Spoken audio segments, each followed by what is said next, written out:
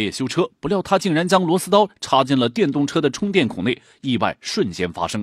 小孩呢，多个螺丝刀要玩玩呢，我恐怕他好，我给他叫他拿个螺丝刀玩玩玩呢，他一会儿上个电动车跟前一问呢，他觉得好奇，有个那个小插充电插孔，他一会儿将个螺丝刀一倒呢，产生连连，呃，产生刺火，给手烫伤了。由于当时这个中手中手子吧，呃，烧的有点刺火，嗯，给烧焦了呢，我吓了回了。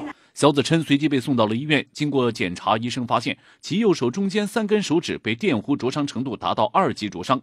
虽然治疗后并无大碍，但医生表示后期可能会有遗留性疤痕。从去年以来，我们接连收到过十几例这种这种烧伤病人。